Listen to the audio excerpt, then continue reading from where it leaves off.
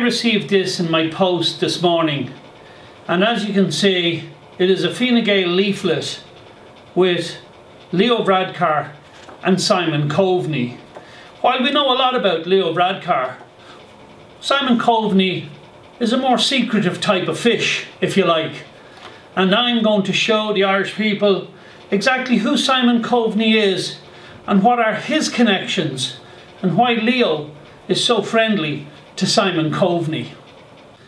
We need to go back in time a little bit, a little history lesson, especially for our younger voters. Older generation will remember these uh, scandals, but these scandals were first connections with Fianna Fáil and Charles Haughey. Charles Haughey's son, by the way, is running against me in Dublin Bay North. But that's irrelevant for the moment.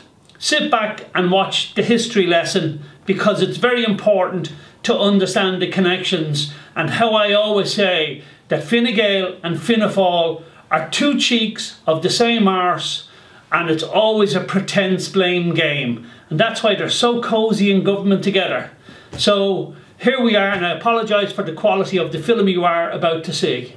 World in Action investigates the operations of Europe's Mr. Meat, the man who makes his money putting the beef into Britain's supermarkets while picking up millions from taxpayers who've been handing out money for nothing.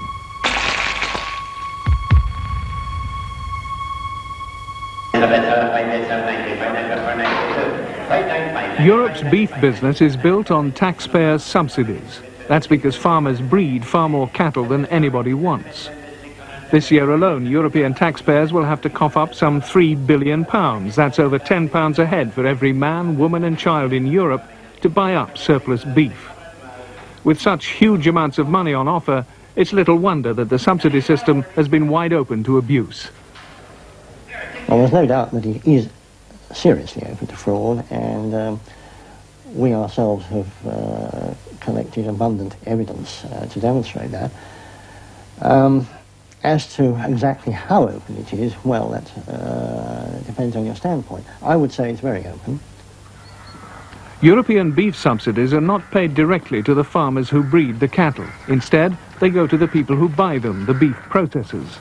A subsidy system which was designed to support those working on the land has turned into a welfare state for industrialists. Instead of running an assembly line, the beef processors run a disassembly line.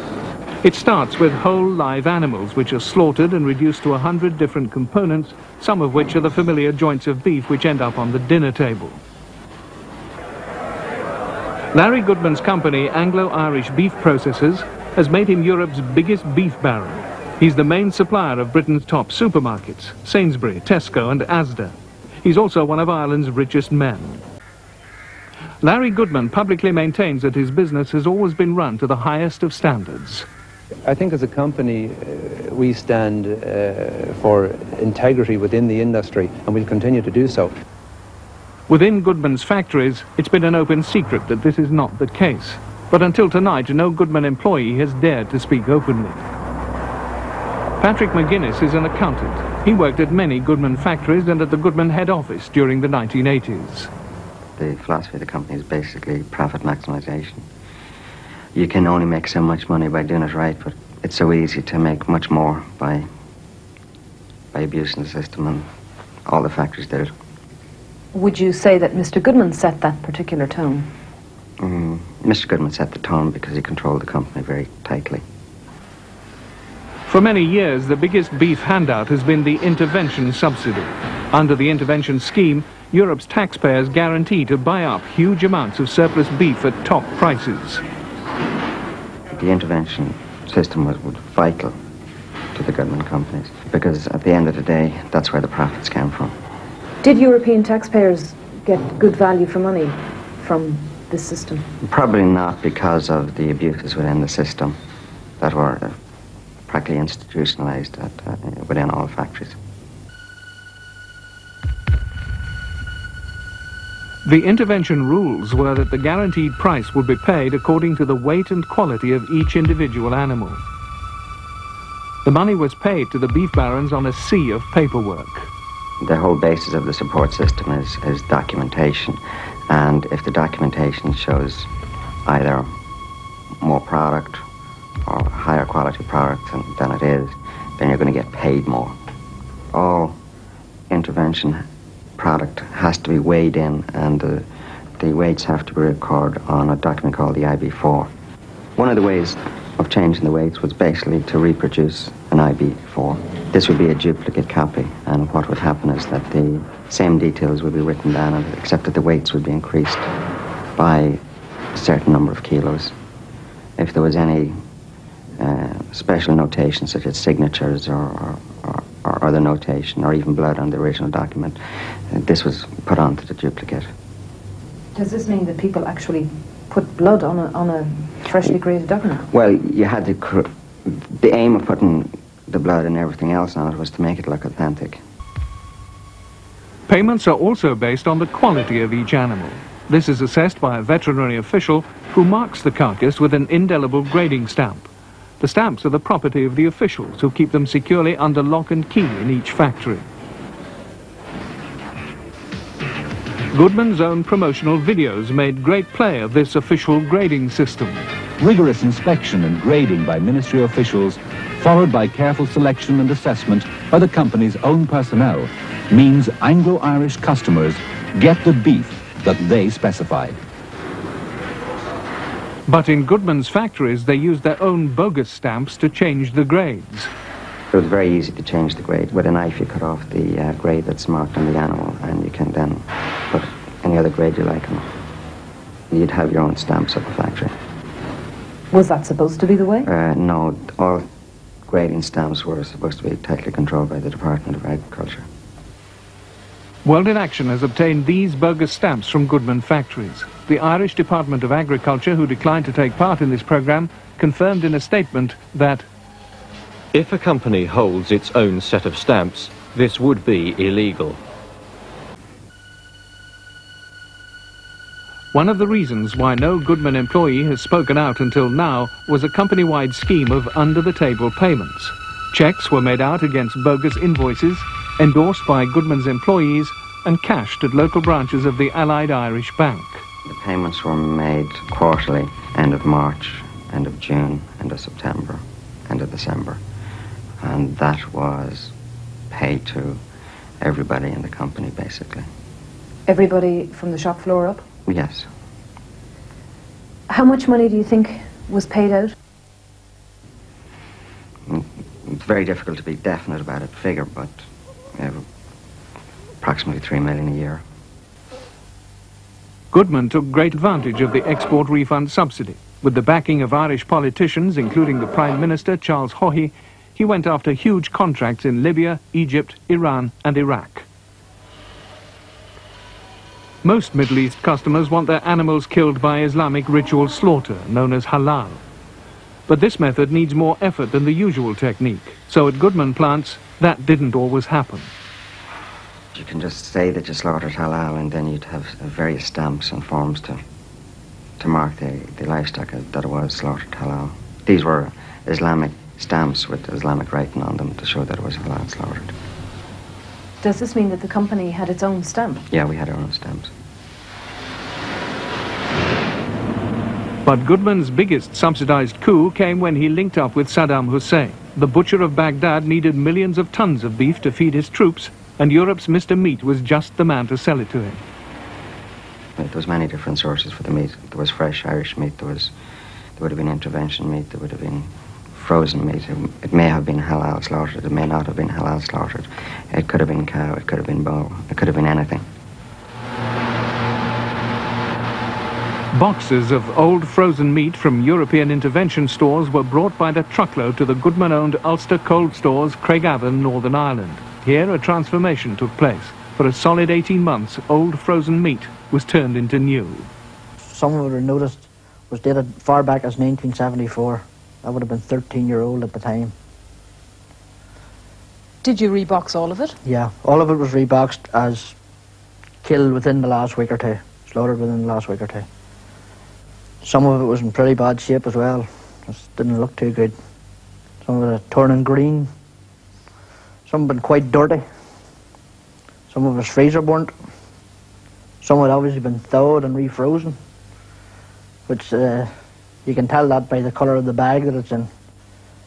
It, uh, the blood comes out and it crystallises brown. Even the top of the beef looks as if there's a, a fuzz on it. You're saying you reboxed all the meat, no matter what shape. No matter what shape it was in, it was all reboxed. Some of at the start we used to throw it to one side, but then was one of the chaps come out of the office and just told us put the whole lot through. It didn't matter, just get it all out. The whole system was that you, you, you switch product to show what the customer wanted. Even And- if the meat And that if that meant reboxing, you reboxed the, the, the meat to show what the company thought he was getting. When customers visited Goodman's Ulster cold stores, a miracle happened. The reboxers, known as the 18, disappeared into thin air. Usually we got a phone call, we got a warning that there was somebody coming and we had to take the line apart and hide it away. It was hid away in a cold store and quickly sweep up the floor any dirt that was about.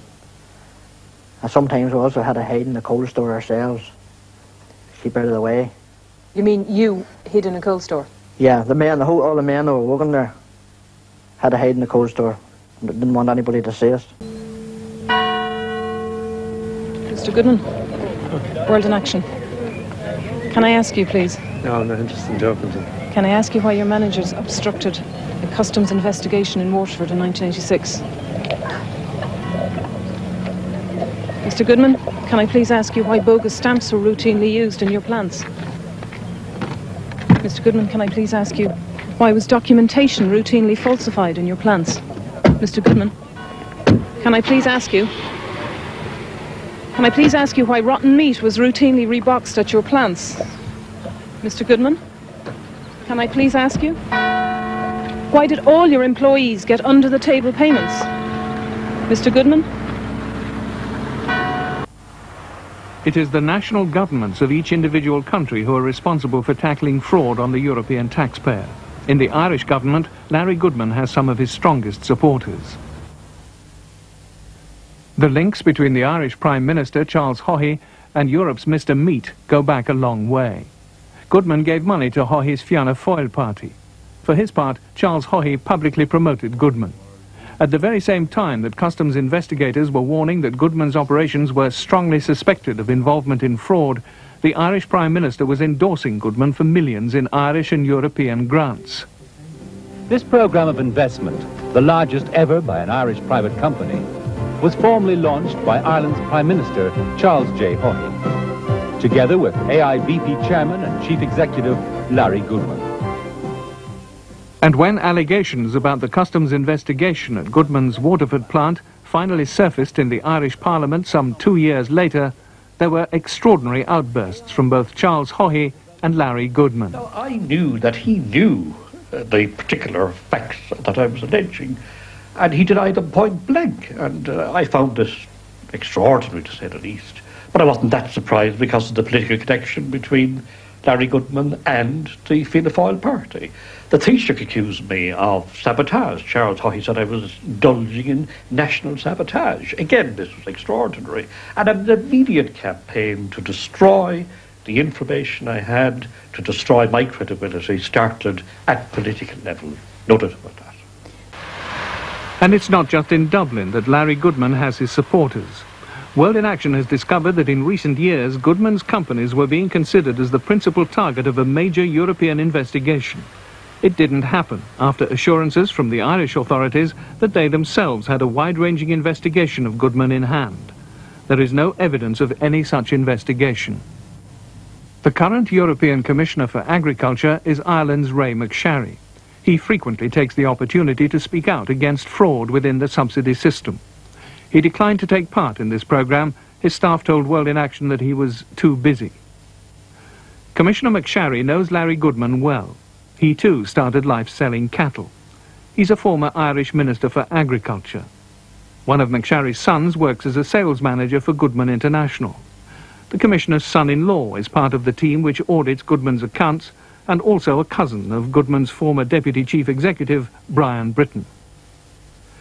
McSharry himself has appeared in Goodman's own promotional literature, here helping celebrate a contract with a German supermarket back in 1981. But McSharry's most controversial connection with Goodman came last year. Goodman had secretly borrowed £500 million from 33 international banks, which he couldn't repay. The Dutch bank AMRO was threatening Goodman with liquidation. The bank held off after a request by the Dutch Agriculture Minister, Gerrit Braks. Braks had previously received a telephone call from Ray McSharry asking him for help. In the breathing space, Prime Minister Charles Haughey recalled the Irish government from its holidays and pushed through emergency legislation to prevent Goodman's companies going under. McSharry insists he did not intervene on Goodman's behalf. I made no request to Mr. Braks to intervene vis-à-vis any particular bank in favour of Goodman International. It would be presumptuous of me anyway to think that my initiatives would be instrumental in keeping this firm in business. I doubt it. However, if it did help, I am rather pleased. I am still persuaded that uh, Mr. Braks was invited to intervene specifically in favour of Goodman International at the behest of a commissioner. And that does not seem to me to be a proper course of action. The Commission's responsibility is not to be there seeking to protect the commercial or the financial interest of a particular trader. Okay, so you've just seen the uh, absolute scandal of the meat industry. And this is in a backdrop where farmers can't even get proper beef prices. But look, it's old news, you might say. Old news. Larry Goodman, um, involved in all of this sort of scandal. Uh, making uh, his own stamps, making halal stamps to be sent off to Muslim countries. But people might say that's that's history. What's that got to do with us? What's it got to do with Simon Coveney? Well, what I'm saying to you is there's clearly the Fianna Fáil connection there, which Sean Haughey is running in the election. And now let's bring it up a little bit uh, more modern please watch the next excerpt that I have for you.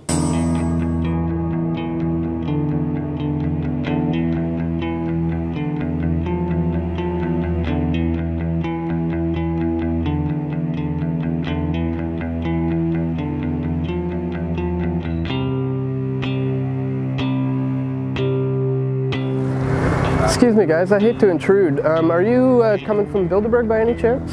We're uh, in that general area. Okay.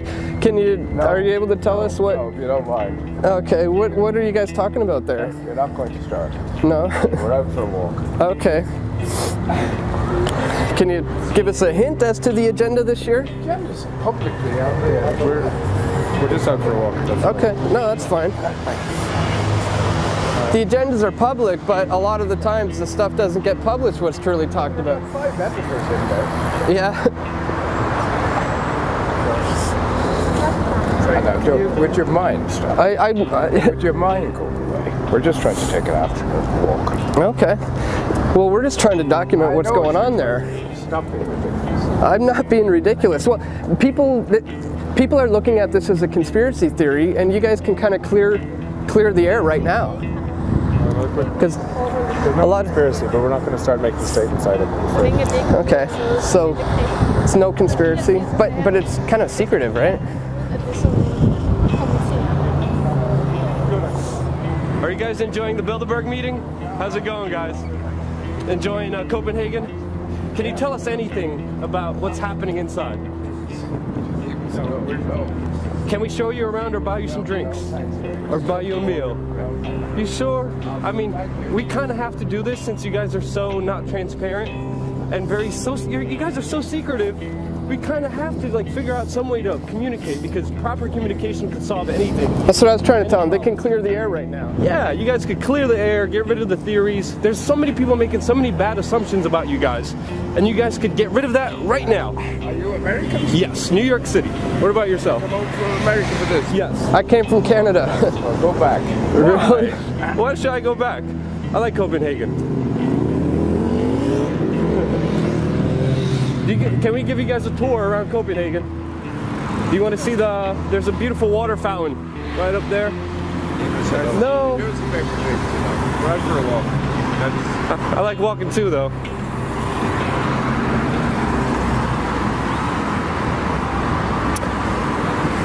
Okay, so what are you guys gonna do with Putin? I mean, you guys were discussing Putin inside. Uh, did, did Samson get in trouble for talking to us? The more quiet you guys are, the more mystery and theories you guys will bring out. And the more assumptions people are going to make make up bad things that you guys are doing in there. Because if you're doing something good, you usually do it in broad daylight. But if you're doing something bad, you want to do it in secrecy. And it kind of seems like you guys are full of full of you know a lot of secrecy.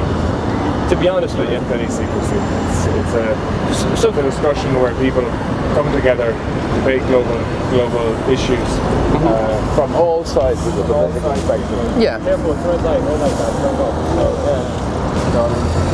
I heard you try to get into Putin's mind. Any, any, any discussions stick out to you? You're bonkers. Huh? You guys mad? No, no, no, no, no, I'm just working. There's that's what I obviously reasons why we're concerned. What reasons are there? Why? Because of the type of people are in here and the amount of secrecy and the topics discussed. There is no secrecy. Etienne Davignon admitted. Major editors.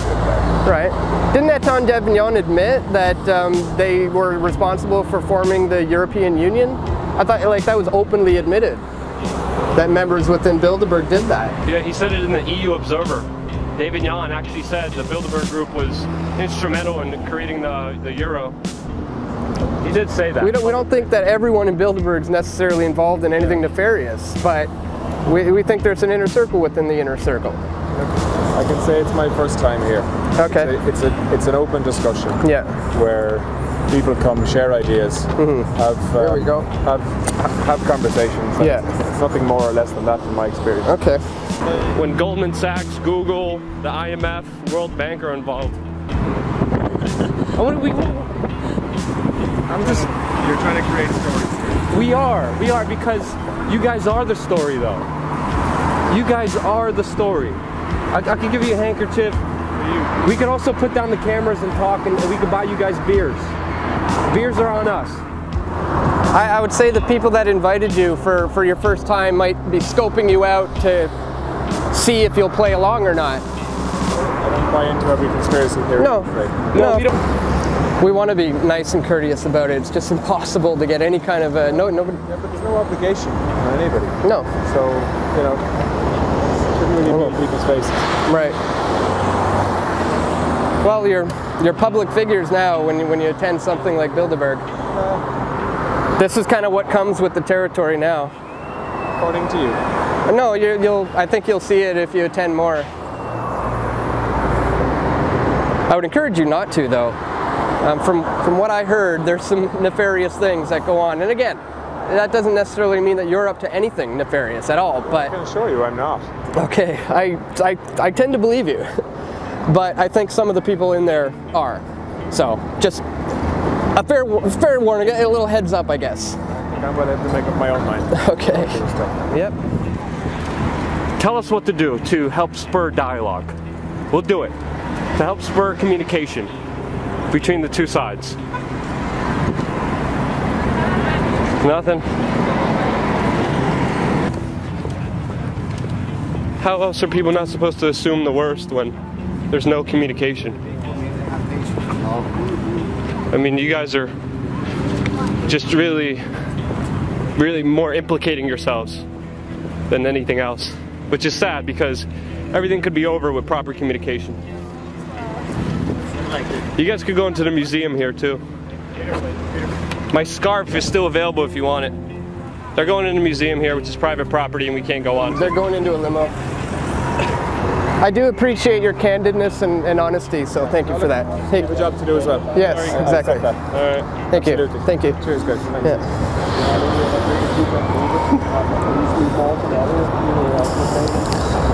Yeah. You guys got room for one more? I can go and try and I could, I could, I could sit in the front. Not sure that's the leg room for you. See you.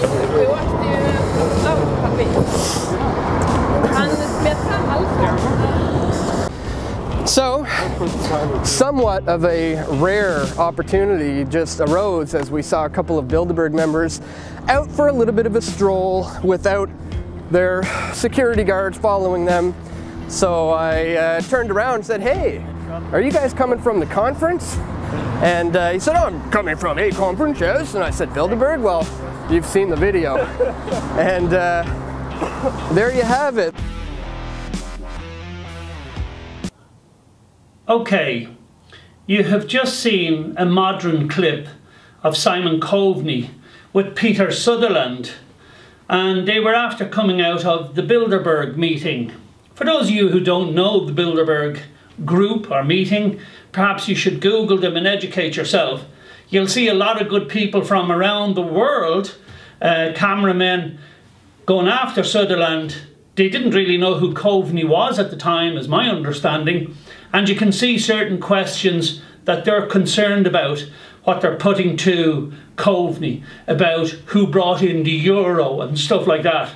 So at a very young age, this Simon Coveney fella seems very well connected. Let's watch the next clip where uh, Paul Murphy, TD, is questioning Simon Coveney, who was the Minister of Agriculture, and he's questioning him about is the beef industry good today and are there any connections from times long ago? Let's just see. Minister, if he or his department has any concerns about possible future effects on the reputation of Irish beef arising from the involvement of Larry Goodman's company, ABP Foods, as the first major distributor of Irish beef in America.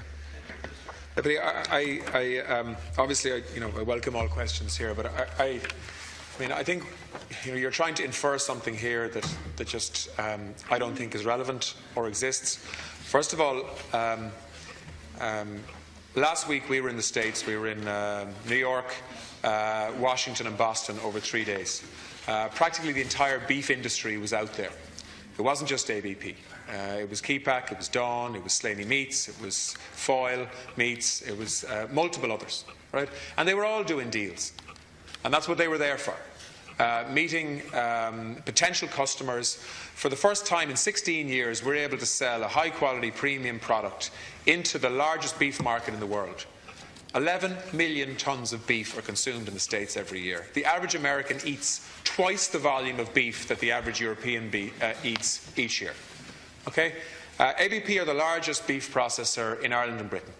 Um, they run uh, a pretty good show from my experience of them. Uh, they have very, very modern plants uh, and they kill a lot of cattle. Uh, and it is not a surprise that the largest beef processor in Ireland um, was sitting down uh, putting a, a, partnership together with the largest food distributor in the, in the United States. And I am not going to allow and have not allowed personalities or history uh, um, you know, uh, in terms of, of, names or companies or anything get in the way of what is a very positive story for the food industry. Moving into the rest of the year. Thank you, Minister. Uh, and, you know, I think what's being raised here, to be honest with you, um, is a bit of a distraction. Deputy Paul Murphy. Thank you. Um, no, I, I, would share in the, the view that it's to be welcome that Irish beef exporters can export uh, to the US. But the question is, um, is it in no way problematic that now the face, whether we like it or not, of that export um, is a man who was in charge of a company who was previously found by a tribunal to have been repackaging meat and meat byproducts and offal from all over the world as Irish. Is that not problematic? Um, I'm not drawing any inferences that aren't there. Um, I think it's the case that you, as a minister, welcomed the deal, which is the biggest of all the deals uh, that was done. And we can think back to 1987 when there was a previous major big deal uh, by this man and his company, um, welcomed by the Irish government, um, which obviously turned out to be a, a disaster in terms of uh, export credit insurance taken on by the taxpayer and the cost of that uh, landing on, on the taxpayer. Um, Thank you, Minister. You know, I, I, mean, look, let me just reassure people on this. You know, and I can only speak for myself as minister over nearly four years. Uh, my department keeps a very tight, um, you know, regulatory um, uh, responsibility uh, uh, uh with, with all of the beef companies in Ireland. Uh, there's no animal killed in Ireland without being supervised by someone in my department. Most of them vets. Um, and that goes for ABP as well as all of the others.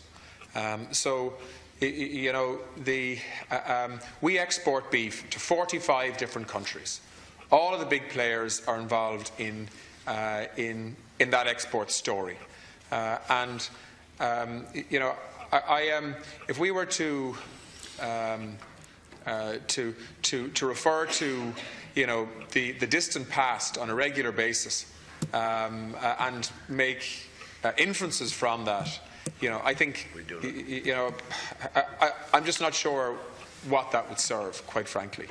Um, I mean, personally, I have little or no relationship with um, uh, with the individual that you've referred to. We only have we've only approved Deputy two plants at the moment to export beef to the United States. Very soon there'll be a third.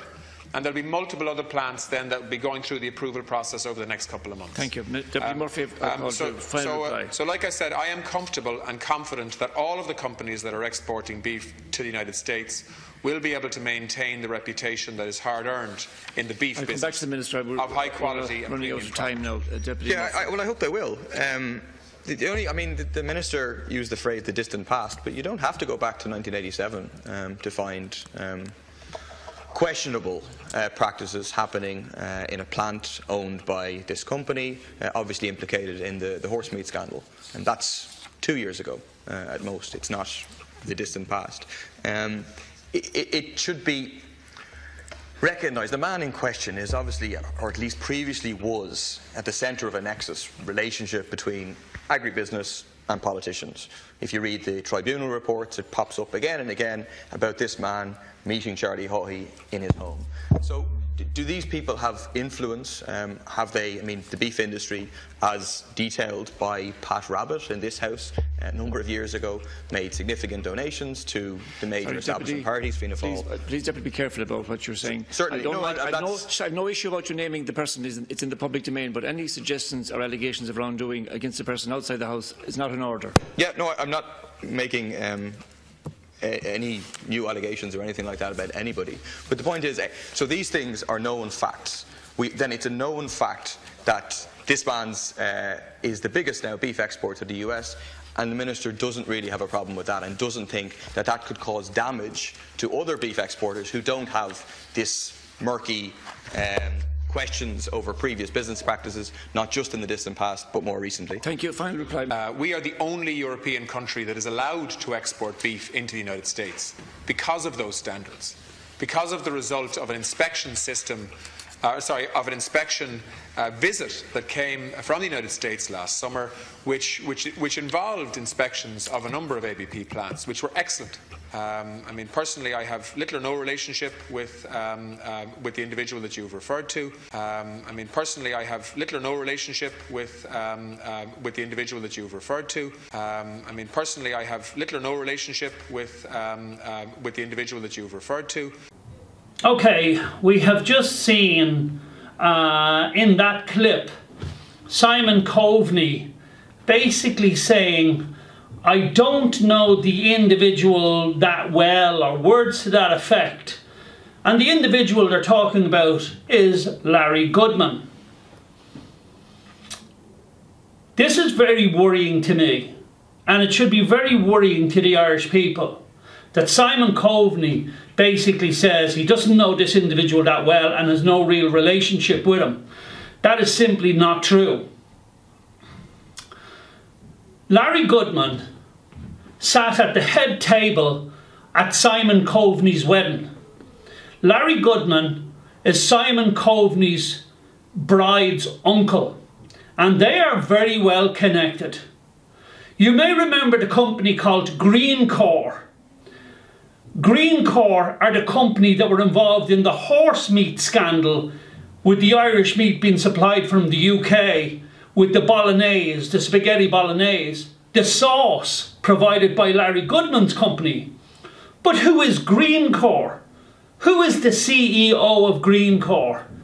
The CEO of Greencore is none other than Patrick Coveney, the brother of Simon Coveney. And all of the other companies are connected with Larry Goodman. That's the first scandal. And to say I have no relationships and giving the impression he doesn't know him is absolutely terrible. Simon Coveney went jetting around America, putting Larry Goodman's companies first as being top grade companies and his own brother's companies, Greencore, while they were involved in the horse scandal. So it appears to me Simon Coveney's and the Coveney family tentacles go everywhere. Let's move on. Modern day. I was in the court during the European elections, and similar to these elections, there are an awful lot of people who are not getting on RTE. Why? Because RTE have got a strategy of elections now and they keep people like me and others off who know the truth and want Irish people to know the truth. I brought an application to the High Court and of course RTE won that with public money to keep people who are telling the truth off the airwaves. But of course the difficulty is all High Court judges are appointed by Fianna Fáil or Fine Gael, those two cheeks of the same arse. But that's not the most worrying thing. The most worrying thing is then let's look into RTE. The strategy they come up with. Who is their director of strategy? Have you guessed yet? It's Rory Coveney. Yes, correct. Another brother of Simon Coveney. This is what's wrong in this country. This is what's wrong with the likes of RTE. This is what's wrong with cosy cartels in government. That's why uh, Fianna Fáil and Fine Gael can sit so tightly together in government. During this election, they'll say, oh no, we can't sit together. But yet, when a new government is formed, it will be these guys again. And we need to keep exposing the connections of these families and their connections all over government and all over the corporations that now ruin and rule this country. So that's my exposure number one video. Another three will follow if I have time. All right, folks. Shocking, isn't it? Over and out. Thank you.